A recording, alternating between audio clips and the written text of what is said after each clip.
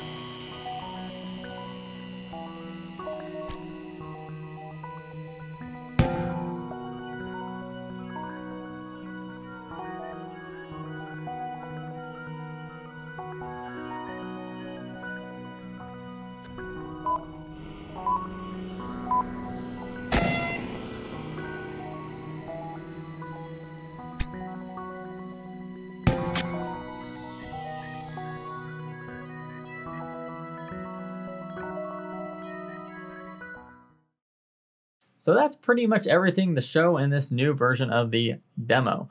Uh, it's mostly just a lot of interactions, which is the staple of VR. Uh, these were also done during the Knuckles DV. If you don't know Knuckles DV, they're a little bit newer than EV3, but they're pretty much the same, which is why I never made really a video about it. So that last five seconds of me saying what Knuckles DV is, that's the video. Anyway, I hope you really enjoyed the content that I just showed off. I hope you enjoy the rest of the content I show plan to show off in the future. And I hope you subscribe, like, and all that garbage that you, you know, YouTube people know about. Anyway, have a great day, and I hope you enjoy the rest of your GDC week.